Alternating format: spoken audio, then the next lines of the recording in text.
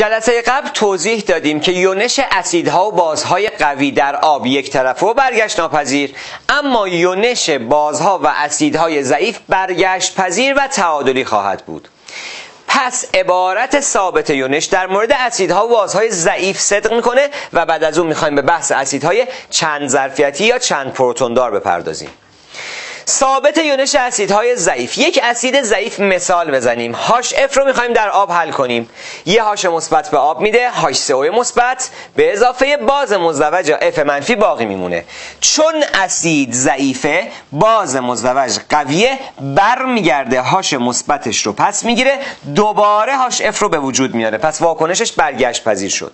حالا می‌خوایم کار رو در مورد این واکنش تعادلی بنویسیم. نوشتم کای آ آ اول کلمه اسید که معنیش هم مشخص است. غلظت محصولات یونی هاش سو مثبت و اف منفی. تقسیم بر غلظت اف چرا هاش رو ننوشتم؟ چون از فصل تعادل می‌دونین که مواد مایع و جامد چون تغییر غلظت ندارن در رابطه کا نوشته نمیشن. در دمای 25 درجه کای این اسید رو بهتون دادم. 5 و 9 دهم ضرب در 10 به توان منفی 4 که لزوما شما نباید این رو حفظ باشین. فقط این رو بهتون نشون دادم که ببینید چقدر این اسیدها ضعیفن چقدر یونششون در آب کمه و میزان کای آشون کمه. ببینید وقتی کا کمه یعنی صورت کسر کوچیک بوده. یعنی یونهای کمی داشتم. یعنی خیلی کم اسید تفکیک شده. پس کای اسید با قدرت اسید رابطه مستقیم داره. کای باز هم همینطور. هرچه کای باز کوچیکتر باشه یعنی باز کمتر تفکیک شده. صورت کسرش کوچیکتر بوده. چون این عددا عددای خیلی کوچیکی هن میان یه ترفند ریاضی می‌زنن که این عددا از نظر عددی مقداری بزرگتر بشن و مقایسهشون آسونتر باشه. میان از Ka پ می‌گیرن. pKa. در ریاضی از هر چیزی پ می‌گیریم یعنی منهای لوگاریتم می‌گیریم. pKa یعنی منهای لوگاریتم Ka. وقتی این عدد کوچیکه منهای لوگاریتم این منها باعث میشه که pKa ش بزرگتر بشه. حالا به مقایسه پیکا بپردازیم. کای آی چند تا اسید رو داریم؟ از سمت چپ به راست آد از منفی یک شده ده به توان منفی سه ده به توان منفی پنج هی داره کوچیکتر میشه. پس قدرت اسیدی داره کم میشه. پس پیکاش باید بزرگتر بشه اونطوری که گفتیم. پیکا رو نگاه کنین. یعنی منهای لوگ ده به توان منفی یک یک. منهای لوگ ده به توان منفی سه سه ال آخر. پس یه بار دیگه بگم. از چپ به راست. کای آ داره کم میشه. عددین رو نشون میده پس قدرت اسید کم میشه پس پی کای آش زیاد میشه. چون کای آ با قدرت اسیدی رابطه مستقیم داره پیشنهاد بهتون میدم اگر پیکا هم عنوان شد به کای آ تبدیلش کنین تا یه موقع اشتباه نکنین. هرچی کای آ بیشتر یا پ کا کمتر باشه به کای آ نگاه می‌کنن بیشتر شده پس اسید قوی تره یا اگر کای ب بزرگتر باشه قدرت بازی بیشتره. کای ب بزرگ میشه پ کای باز کم میشه. حالا بریم ثابت یونش آب رو بررسی کنیم. مطالبی که امروز دارم بهتون در مورد کای اسیدی و کای آب بهتون درس میدم در مسائل پهاش که دو جلسه دیگه درسش آغاز میشه خیلی به دردمون می‌خوره. ثابت یونش آب. بیایم یونش آب رو بنویسیم. در واقع خود یونش آب رو بنویسیم. دو مولکول هاش تو او هاش سه مثبت و هاش منفی.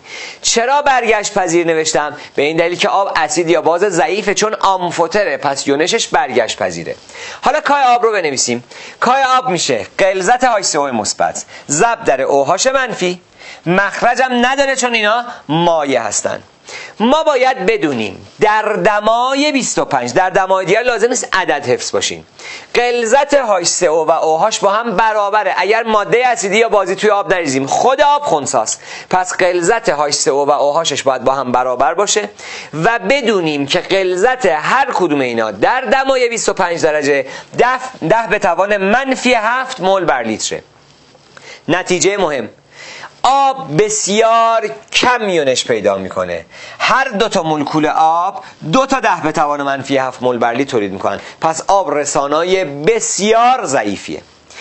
به کای آب میگن کای دبلیو یا کای واتر که دونستیم حاصل ضرب یونهای آبه در دمای 25 چون هر کدوم از اینا 10 به توان منفی هفتن کای دبلیو 10 به توان منفی 14 خواهد بود که در مسائل باز خیلی از این فرمول استفاده میشه. در دمای 25 غلظت هاش در اوهاش 10 به توان منفی 14 حالا یه نکته مهم دیگه. اگر شما در آب اسید بریزین غلظت یونی زیاد میشه. مسلما هاش مثبت زیاد میشه.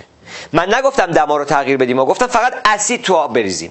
چون دما ثابته ده به توان منفی 14 باید ثابت بمونه. پس اگر ما اسید بریزیم هاش زیاد میشه ناخداگاه اوهاش کم میشه. تا این عدد ثابت بمونه. و برعکس اگر شما در آب در دمای ثابت مثلا 25 درجه باز بریزی اوهاش منفی زیاد میشه. بلا فاصله هاش مثبت روند نزولی به خودش می‌گیره تا این عدد ثابت باشه. نکتهش رو ببینید. به مقدار کای دبلیو ثابت تفکیک آب یا حاصل ضرب یونی آب می‌گویند. چرا؟ به این دلیل که ثابت تفکیک همون کاه حاصل ضرب یونی چون دقیقا حاصل ضرب یونهای آب مخرج نداره. و نکته که در مورد افزایش هاش مثبت یا کاهش اوهاش منفی براتون گفتم رو اینجا می‌بینین. کاه دبلیو فقط تابع دماست یعنی در دمای ثابت هر تغییری در غلظت هاش مثبت یا غلظت اوهاش منفی هیچ تأثیری بر دبلیو ندارد. برای اینکه این نکته رو بهتر متوجه بشین رابطه رو اینطوری نوشتم. هاش در اوهاش مساوی با دبلیو بود. اومدم هاش رو نگه داشتم اوهاش رو بردم. اونسم در مخرج دبلیو. که قشنگ مشاهده کنین که یکی در صورت دیگری در مخرجه. پس اگر هاش مثبت رو به هر طریقی زیاد کنم ناخداگاه اوهاش منفی کم میشه. چرا؟ چون کا باید ثابت بمونه. چون دما ثابته اما اگر دما تغییر بکنه چی؟ مثلا اگر دما رو زیاد کنیم. اولا یادمون باشه. یونش آب گرماگیره. معمولا بچه ها اینطوری رو حفظ می‌کنن که آب می‌خواد به یوناش تفکیک بشه. پس باید گرما بگیره گرما گیره. من راه بهتر براتون سراغ دارم. مگه ما در فصل تعادل اینم یه واکنش برگشت پذیره دیگه. در فصل تعادل نگفتیم در واکنش های برگشت پذیر همیشه دما سمتیه که بی‌نظمی کمتره. خب مسلما بی‌نظمی مایع از محلول کمتره. پس دما سمتیه که بی‌نظمی کمتره. حالا دما رو داریم تغییر میدیم. دما رو زیاد می‌کنیم. پس تعادل از دما دور میشه. از دما دور بشه به سمت هاش میریم. آیا آب خصلت اسیدی پیدا می‌کنه؟ خیر به هیچ عنوان. چون نه تنها به سمت هاش میریم داریم به سمت اوهاش هم میریم. به هر میزان نسبتشون یک به یکه. این تغییر کنه اینم تغییر می‌کنه. پس با افزایش دما به سمت رفت غلظت یونها زیاد. وقتی غلظت یونها زیاد بشه کای دبلیو هم زیاد میشه. چقدر جالب شد. دما غلظت یونا و کای دبلیو رابطه مستقیم دارن. پس اگر دما رو کم هم بکنیم از به سمت دما میریم یعنی به سمت برگشت میریم. از یونها دور میشیم. پس غلظت یونا هم کم میشه. وقتی یونها کم بشن حاصل ضربشون یعنی کای دبلیو هم کم میشه. اما نکته بسیار مهم که در مسائل پهاش هم باهاشون سر و کار داریم. این هست که در هر دمای آب خنساست چون اگه دما رو ببریم بالا به سمت هر دو این یون ها میاییم. هاش و هاش به یک میزان زیاد میشن. پس تغییری در خصلت اسیدی یا بازی آب رخ نمیده. این نکته رو دقت کنین. با وجود تغییر کای دبلیو با دما خونسا بودن آب همیشگی است. زیرا در هر دمایی بر اثر یونش آب تعداد مساوی از یونهای هاش مثبت و اوهاش منفی به وجود می آید